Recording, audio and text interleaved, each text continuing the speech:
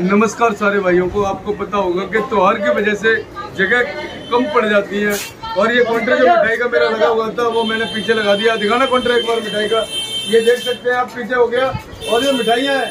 ये दिखा सकते हैं मिठाइयाँ जो कि होलसेल में लगी हुई हैं। और ये गोदाम पर, जो गोदाम में माल रखा हुआ है, वो तो गोदाम में ही है। दुकान पर माल जितनी ज़रूरत होती है, मंगाते जाते हैं। लेकिन जो भाई दुकानों के लिए, बेचने के लिए ले जा रहे हैं उनके लिए वहीं से उठवा दिया जाता है। दुकान से देखते हैं ये देख रहे हैं मेरा काउंटर लगा हुआ है। बाहर से जाके आप दिखा सकते हैं। एक बार दिखाना, एक बार बाहर से भी दिखाता हूँ। जो कि अभी करवा चौथ की तैयारी चल रही थी, वो मैंने बनाई हुई है। बाहर दिखाते हैं, ये रोड की तरफ़ दिखाते हैं। यहाँ से लेके चले एक बार।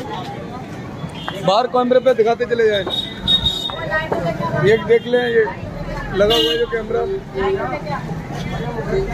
ये कैमरा लगा है, जो कि त्योहार की वजह से है। बाकी मैं बता देता हूँ। है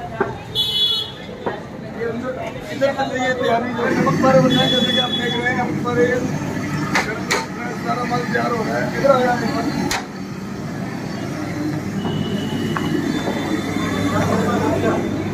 ये करवा चौथ की मट्टियाँ हैं जो कि बनाई जाती है और अभी जो बना रहे हैं, हमारे ऊपर की ये नमक पारे बनाए जा रहे हैं। ये देख सकते हैं। बालू चाहिए जैसे कि इधर आया क्लोज करके दिखाते हैं। बालू चाहिए शक्कर पारे हैं। ये मीठी मट्टी है, फैनी के टोकरे हैं, मीठी मट्टी, रसगुल्ले हैं, जो कि काफ़ी सारी मात्रा में कर ये बाहर हमारा ये काउंटर लगा हुआ है। आप देख ही रहे हैं। ये मट्टियों का टोकरा है दिखाई दे रहा है। और ये मट्टियाँ लगी हुई हैं। ये फैनी है, फैनी के तो लगे हुए हैं, रसगुल्ले रखे हुए हैं, जो कि आप देख रहे हैं। लेकिन दोस्तों, मैं बताना चाहता हूँ आपको कि हमारे पास जो फास्ट फ़ूड का काम था, कचौड़ी, समोसे ब्रेड पकौड़े, काफ़ी भाइयों के फ़ोन आए थे कि अभी बना रहे हैं फेस्टिवल की वजह से बंद कर दिए। तो बंद नहीं की है उसकी टीम अलग लगा दी है।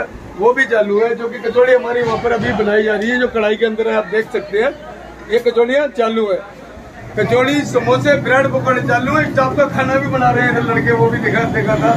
तो दोस्तों, उम्मीद करता हूँ, ये सारी जानकारी आपको दे दी कि जो आइटम हमारे पास मिठाइयों का बिज़नेस करते थे, उसके लिए या रिटेल के लिए होलसेल के लिए कोई बिज़नेस करना चाहे हमारे साथ जुड़कर तो वो भाई बिज़नेस कर सकते हैं। जैसे कि फेस्टिवल का भी होता है त्योहारों के अंदर ही कई भाई त्योहार की त्योहार काम करके पैसा कमाते हैं कई भाई रेगुलर बारह महीने काम करके भी पैसा कमा लेते हैं। अच्छा।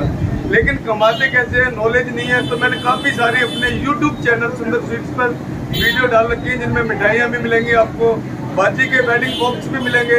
फास्ट फ़ूड भी मिलेगा।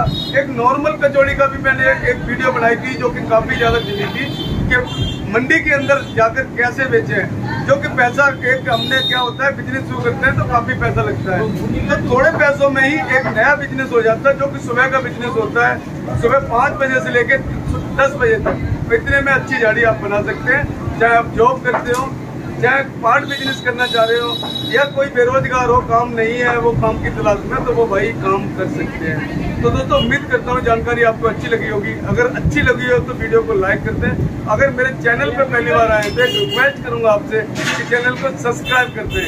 क्योंकि सब्सक्राइब करने का कोई पैसा नहीं लगता है दोस्तों, और मैं बिज़नेस से जुड़ी हुई जानकारी हमेशा आपको देता रहता हूँ। तो मैं मैं मिलता हूँ आपसे एक नेक्स्ट वीडियो में, नए टॉपिक के साथ। तब तक के लिए जय हिंद, जय भारत।